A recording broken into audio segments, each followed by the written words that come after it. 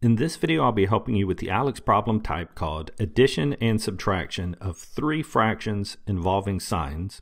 We're asked to evaluate our answer here and write the answer as a fraction in simplest form. And to add or subtract fractions, we know that we'll have to identify the lowest common denominator. So when looking at our three denominators, 6, 4, and 12, we're looking for the lowest or smallest number that is divisible by each of these three. And here we can see that 12 is divisible by 6, it's divisible by 4, and also divisible by 12. So I'll be rewriting this so that each of these fractions has a denominator of 12. And starting with the first fraction, that would mean that I would need to multiply that 6 in the denominator by 2, which I can only do if I also multiply the numerator by 2 so that negative 5 times 2 would be a negative 10.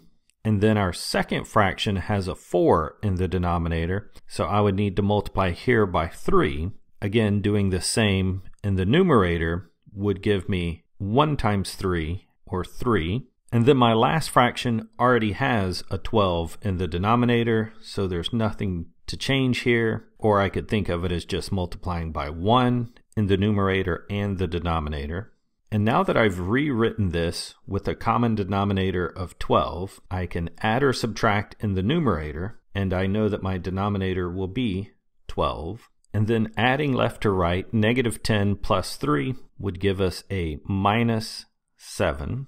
And then minus 7 plus 5 would be a minus 2. Simplifying our fraction, both the numerator and the denominator are divisible by 2. So we can simplify to have negative 1 in the numerator, 6 in the denominator, so negative 1 sixth is our solution.